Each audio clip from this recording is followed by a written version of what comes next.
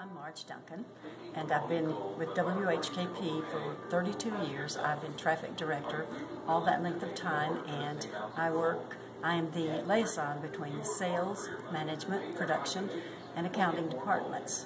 And I make the daily log and try very hard to get the orders from the advertising in at the specified times on the log, and that will eventually uh, end in the monthly billing.